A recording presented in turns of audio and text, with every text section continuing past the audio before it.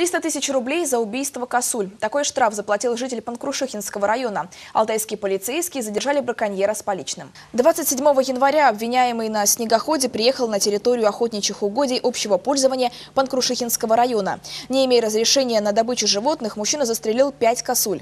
Государственному охотничьему фонду был причинен ущерб на сумму 300 тысяч рублей. Обвиняемый возместил его сполна. Дорогая вышла охота. Уголовное дело направили мировому судье судебного участка Панкрушихинского района для рассмотрения по существу. Напомню, сибирская косуля занесена в Красную книгу Алтайского края. В последнее время браконьеры все чаще охотятся на этих животных. Некоторые экологи даже предостерегают, этот вид находится под угрозой истребления.